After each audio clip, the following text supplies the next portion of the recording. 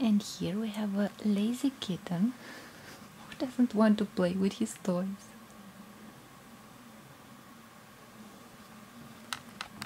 So he has a lot of toys.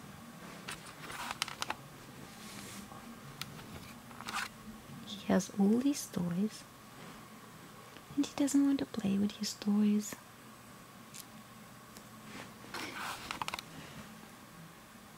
He's a lazy little kitten who doesn't want to play with the toys. Right?